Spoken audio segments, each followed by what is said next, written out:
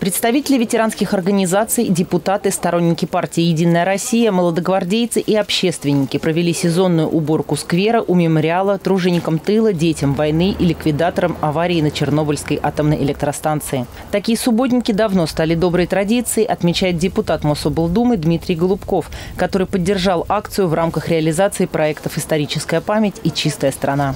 В общем-то, уверен, что, это, что эти традиции, они только крепнут. Люди все больше и больше осознают и участвуют лично в общественных мероприятиях, понимают их важность, их ценность.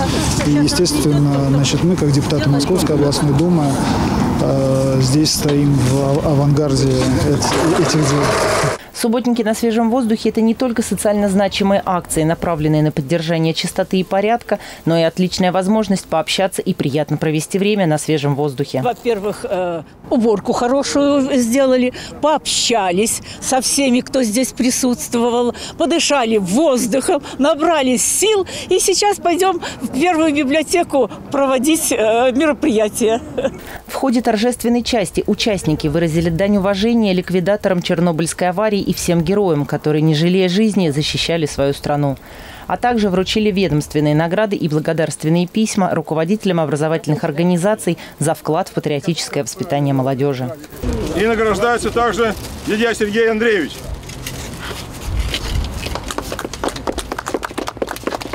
Большой благодарности вам. Спасибо.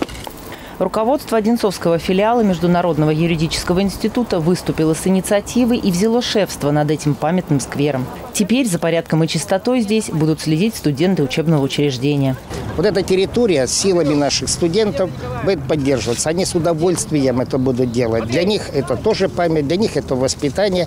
И я призываю и других последовать нашему примеру. А давайте-ка разобьем всю территорию нашего округа на сектора, закрепим за совестливыми, добросовестными людьми. И у нас будет чисто, приятно и хорошо. Полина Толмачева, Олег Мещерский, телекомпания «Одинцова».